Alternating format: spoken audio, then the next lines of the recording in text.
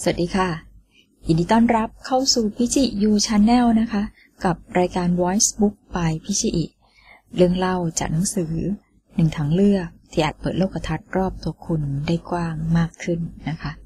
เราก็ยังอยู่กันที่บันทึกจอมชนแห่งสุสานเล่มที่หนึ่งตอนใส่คลั่งทะเลเดือดนะคะ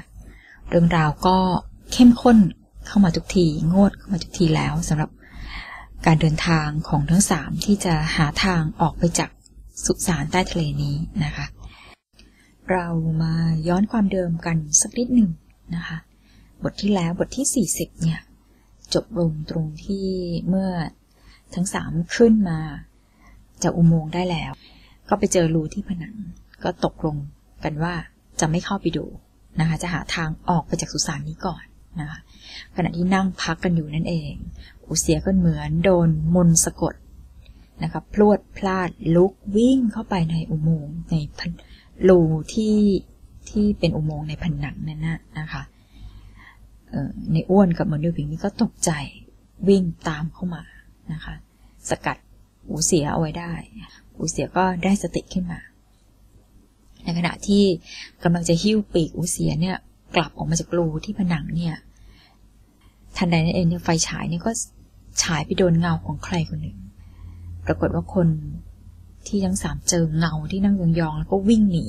เดินวิ่งเข้ามาลึกในอุโมงค์เนี่ย และจับตัวได้นั้นก็คืออันหนิง แต่ว่าดูเหมือนอันหนิงที่ทั้งสามเจอเนี่ยจะไม่ใช่อันหนิงคนเดิมใช่แล้วค่ะ สายตาก็มือลอยนะคะมาฟังกันต่อค่ะว่าในบทที่ 41 เนี่ย เรื่องราวจะเป็นยังไงต่อไป อันหนิงจะฟื้นคืนมาได้หรือไม่ และทั้งสามจะไปเจอเจออะไร บันทึกจอมโจรแห่งสุสานเล่มที่หนึ่งตอน ใส่คลั่งทะเลเดือด บทที่ 41 สุดทางมืดเมื่อเหมือนโยบผิงแล้วก็ทั้งหมดเนี่ยนะคะ มองดูหน้าอันหนิง ก็พบว่าใบหน้าของเธอนั้นแข็งทื่อ แววตาก็เหม่อลอย ในอ้วนเนี่ยกลัวว่าจะเป็นการแสดงหรือว่าอันหนิงเนี่ยจะแกล้ง ก็เลย ขู่นะคะทำท่าเหมือนว่าจะตบหน้าอันหิงนะคะ แต่ว่าเหมือนยูผิงก็ห้ามเอาไว้ แล้วก็ทดลองโดยการดีดนิ้วใส่หน้าของอันหนิง ดีดนิ้วหลายที เธอก็ยังคงทำหน้าตาเฉยเมยนะคะ ไม่มีอาการตกอกตกใจใดทั้งสิ้น สายตาก็ยังคงเมอลอย เหมือนว่าสติเนี่ยหลุดไปแล้วนะคะ ทั้งหมดจึงตัดสินใจเนี่ยที่จะแบกเธอออกไป ไปตั้งหลักในตำหนักทิพย์กันก่อน จะออกจากอุโมงค์นี้ไปก่อน เมื่อหนีจากสุสานนี้ได้แล้วก็ค่อยส่งเธอไปให้ที่โรงพยาบาลตรวจดูอีกทีนะคะว่า ตกลงว่าเธอเป็นอะไรกันแน่นะคะแต่ก่อนที่ทั้งหมดเนี่ยจะออกไปในอ้วนก็ส่งไฟฉายลึกเข้าไปข้างในนะคะแล้วก็พบว่าอุโมงค์เนี้ย ไม่ได้ยาวมากเหมือนที่ที่คิดเอาไว้แต่แรกนะคะ ถ้าจะเดินเข้าไปอีกประมาณสิบกว่าก้าวเนี่ย ก็จะเห็นชั้นในสุด จะถึงชั้นในสุดของอุโมงค์นี่แล้ว แต่กำลังวัดของไฟฉายเนี่ย ก็รู้สึกว่าจะไม่พอ เพราะว่าใช้ไฟฉายในการส่องเดินทางมาตลอดเลยใช่ไหมคะ ก็ตอนนี้กำลังไฟก็ไม่พอ เพราะฉะนั้น อส่องเข้าไปเนี่ย ก็ทำให้มองเห็นเนี่ย ไม่ชัดว่าภายในอุโมงค์ที่ลึกเข้าไปเนี่ย เกือบจะสุดทางเนี่ย เป็นภาพของอะไรแล้วมันคืออะไรเนี่ยอ้วนก็ส่องไฟซ้ำเนี่ย แล้วก็บอกว่า เอ มันเหมือนต้นไม้นะ มีแสงสะท้อนวิบวับอยู่ด้วย ถ้าไม่เชื่อ พวกเราเข้าไปดูด้วยกันเป็นไง จริงๆแล้วเนี่ยอูเสียก็รู้ทันในอ้วนแล้วนะคะว่า อยากจะเข้าไปข้างใน เพราะว่าคิดว่าอาจจะมีของมีค่าอยู่ข้างใน ก็เลยรีบดักคอไปว่า อยากจะเข้าไปข้างในละสิอยากจะไปดูไปหาของมีค่าอะไรหรือเปล่าระหว่างที่เถียงกันไปเถียงกันมากันอยู่นั้นเองนะคะ เหมือนเดียวพิงก็ทำมือบอกว่าอย่าส่งเสียง แล้วก็พูดเบาๆว่า ทุกคนตามฉันมา อย่าแตกแถว อพูดเสร็จนะคะก็เดินตรงเข้าไปในความมืดในทันทีอุเสียเห็นนั้นก็เลยต้องเดินตามกระเพลกกระเพลกตามมา เพราะว่าขาเนี่ยก็ยังเจ็บอยู่จากการโดนไฟฉายที่เหมือนเนื้อผิงกันในอ้วนเนี่ยคว้างเข้ามาใส่เพื่อให้ล้มลงได้สติจำได้ไหมคะขาก็ยังเจ็บอยู่ส่วนในอ้วนเนี่ยก็แบกอันหนิงตามเดินตามเข้ามาติดติด ในอ้วนนี่เขาก็อยากเข้ามาอยู่แล้วนะคะ เมื่อทุกคนเนี่ยเข้ามาถึง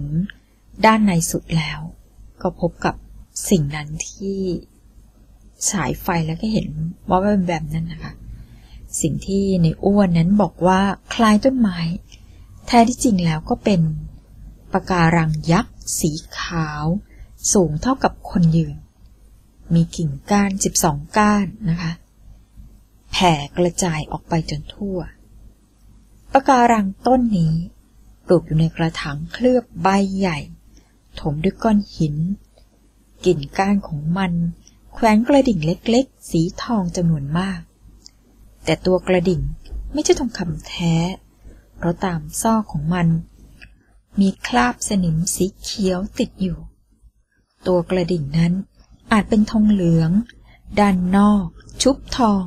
จึงมีแสงสีทองอาราม อยู่จนบัดนี้ ส่วนในอ้วนนั้นนะคะ พอไม่พบต้นไม้ทองคำอย่างที่หวังไว้ก็ทำสีหน้าผิดหวังอย่างมากเลยทีเดียว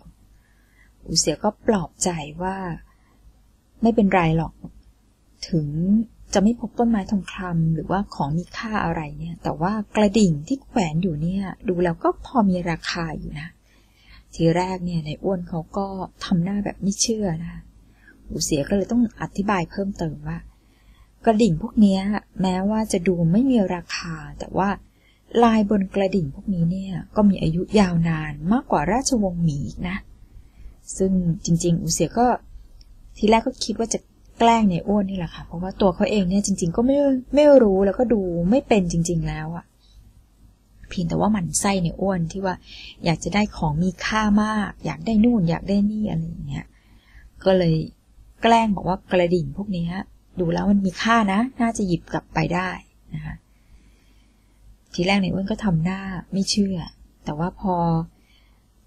อุเสียสำทับมันเป็นอย่างนี้สำทับมาอย่างนี้ว่ารวดลายมันเก่าแก่ น่าจะมีราคาอยู่บ้างเนี่ยในอ้วนก็ทำหน้าคิดอยู่แป๊บหนึ่งนะคะ แต่ว่าก็ทำท่าว่าจะเด็ด ลงมาดูสักใบ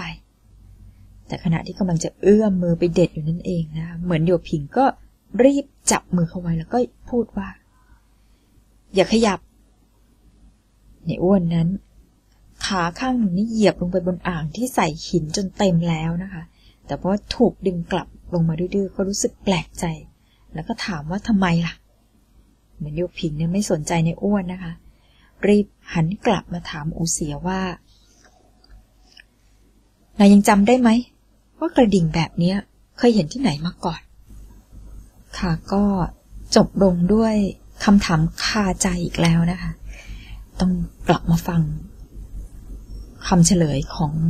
อุเสียคำตอบของอุเสียในบทหน้าละค่ะว่าคลับคลายคลับคลา กับกระดิ่งรูปร่างหน้าตาแบบนี้หรือเปล่านะคะ เคยจำได้ไหมว่ามันมันมันเจอเจอที่ไหนอะไรประมาณนั้นนะคะ เหมือนยุผิงนี่แสดงว่าถามอย่างนี้ก็แสดงว่าตัวเขาเนี่ยคลับคลายคลับคลาว่า มันเป็นกระดิ่งที่เขาเคยเจอมาก่อนนะคะมาฟังเฉลยในบทหน้าพร้อมๆกันค่ะสำหรับหลายคนนะคะที่หาฟังตอนเก่าไม่เจอก็แวะไปที่ Facebook backslash p c e book ก็ได้นะคะ p e a c h w i b w o k ก็เดี๋ยวจะทำลิงก์เรื่องต่างๆ แล้วก็ปักหมุดเอาไว้ข้างบนสุด เผื่อว่าจะหากันได้ง่าย ๆนะคะ ขอบคุณสำหรับการติดตามรับฟังนะคะ แล้วก็ขอให้มีความสุขกับการฟัง แล้วพบกันใหม่บทหน้า สวัสดีค่ะ